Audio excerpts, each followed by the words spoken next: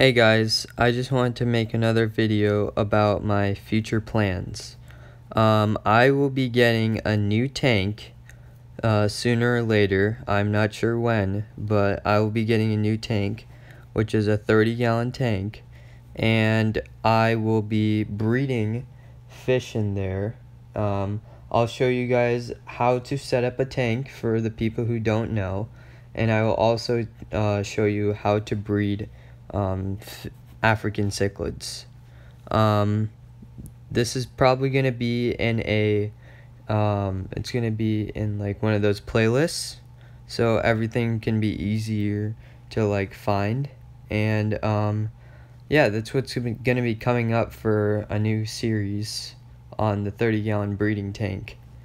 Um, so stay tuned and keep watching and keep on the lookout. Um, for when I get my 30 gallon tank and make sure you're subscribed so you don't miss out on anything.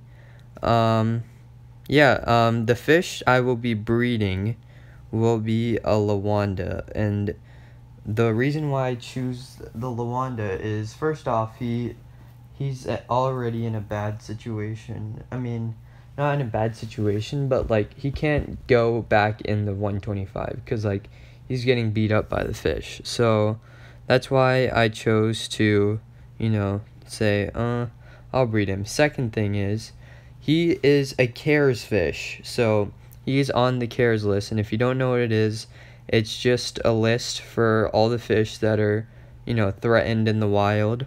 Um, this fish is threatened by overfishing, and they're saying that there's less than a thousand individuals in the wild, and I actually don't see this fish too much out in the stores. So I'm like, hey, I got a Lawanda. It's a five inch Lawanda.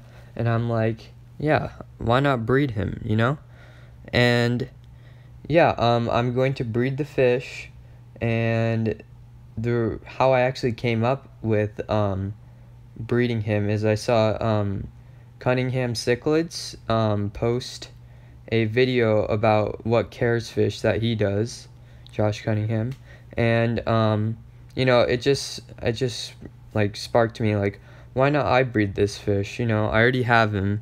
I didn't really know who's I knew about CARES, but I just checked it out again and I was like, "Hey, there's a Lawanda here." So, you know, why not breed him? And Lawanda right now, as you can see, is fine.